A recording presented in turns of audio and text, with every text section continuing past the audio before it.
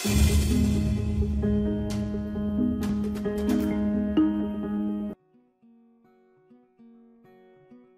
friends, welcome back. You are watching the Data Labs. My name is Dilip. In this video, we will learn how to check whether user has enabled macro or not and flag a message to the user to enable macro so that VBA based report or application can work properly. Let's flip to Excel window and see how it works.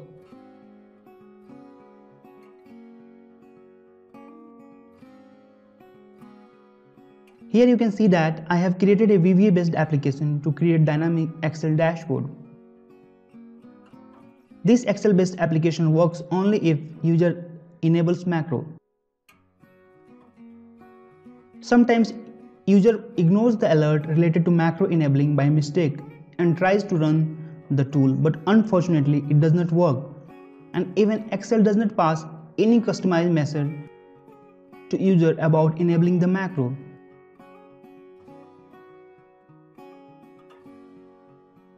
As some users are not aware of this setting and they think that there is some error in tool or the Excel worksheet is corrupted.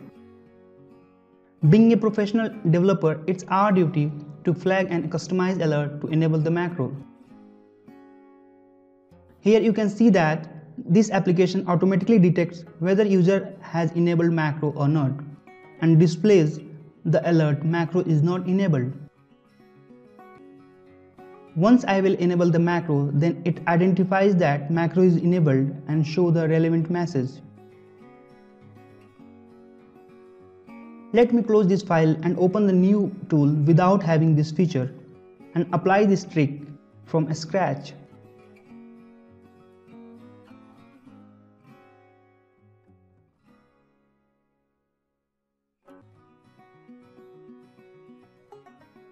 As you can see that this tool does not have features to show customized alert. We will use the combination of Excel name and macro to handle this. First of all, let us create a name in Excel. To create a name, just press the shortcut key Ctrl F3. It will show the name manager dialog box. Now click on new then enter a name as check macro. You can give any self-explanatory name here.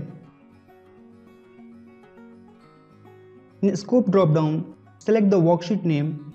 Here I am selecting home. Now in refer to text box, just enter 0 and then click on OK.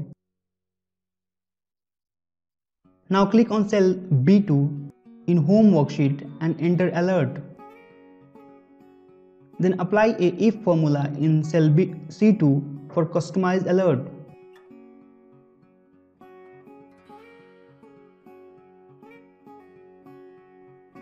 Here the formula is if check macro is equal to 1 then macro is enabled.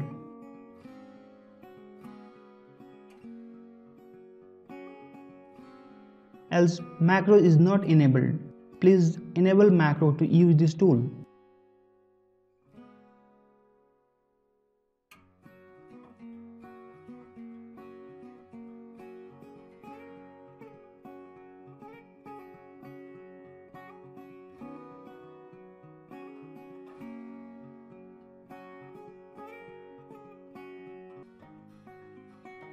This formula will help us in showing the message related to macro enabled or disabled.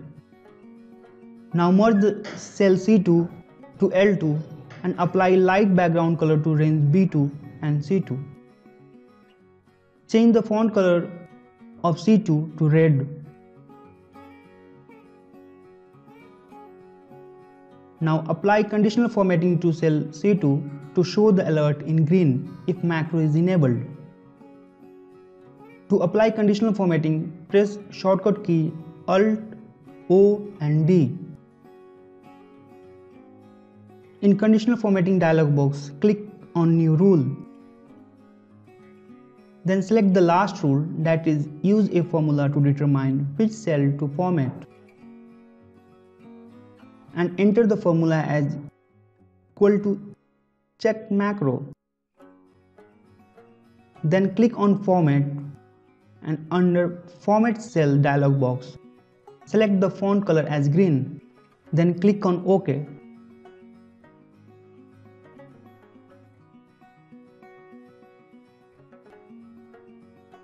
As the initial value of check macro name is 0, hence the font color will remain as red. Once the value of name will be changed, it will show the font color in green. Now flip to Visual Basic for application window and write down the macro to change the value of name from 0 to 1 and 1 to 0 on different types of events. In VBA window, double click on this workbook to show the workbook code window. In code window, you can see that there is a subroutine for workbook open events. In this procedure, I have already written a code to open the login form for dashboard. Here what we need to do is to add a VBA code to change the value of check macro from 0 to 1.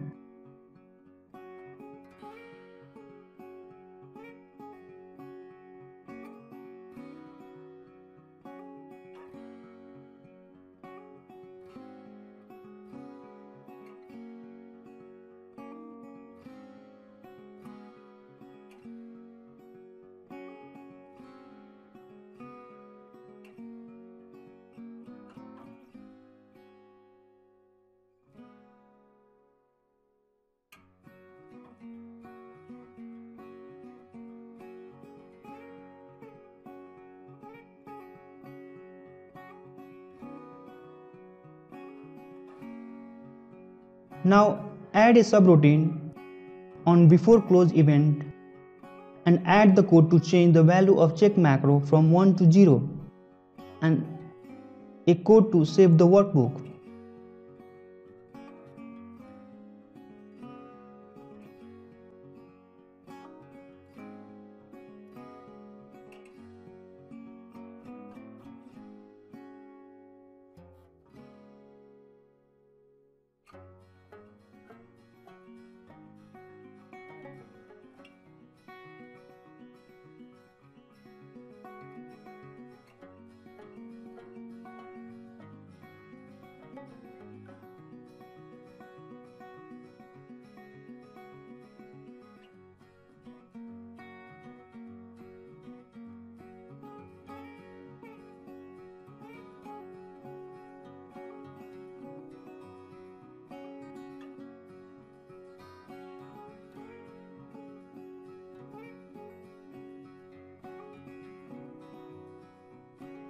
Now our coding part is done. Here workbook open event will assign 1 to check macro. If user will run this macro, then the formula available in cell C2 will show the message accordingly. On close event, the value of check macro will get changed from 1 to 0 and workbook will get saved with that value.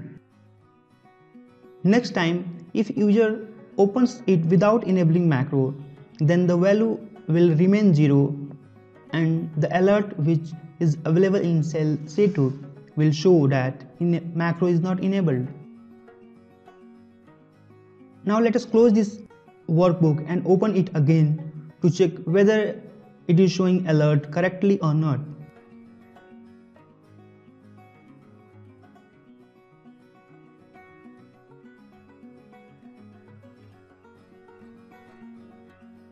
Here I am not enabling the macro to see the correct alert.